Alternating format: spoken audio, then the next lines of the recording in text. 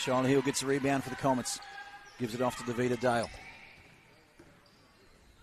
Back to Heal. Shyla for three. In. And they've extended the lead out to seven. And coach Rachel Mamba will be happy with the first quarter performance so far. As Heal finds a way to the glass. Trying to rest the run. Buries that one. Heal for the reply. Shyla. Oh, Shyla.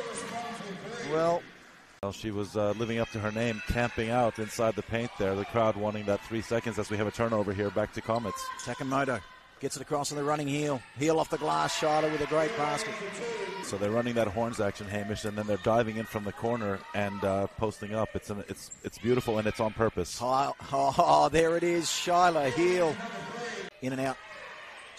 Again, Danica Rowe. Oh, and this Heal just with the putback in the right place at the right time. Heal. Step back. Long two. Good enough. Shyla drains that one. Extends the lead out again to eight. And a nice little margin as Shyla with the reply. Shyla Heal. Shyla, shot clock's at five. Matthews trying to stay with her. Shyla with a beautiful little running jump. Danica Rowe.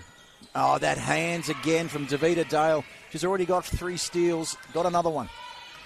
Steal, gives it to Heal. And Shyla with a scoop.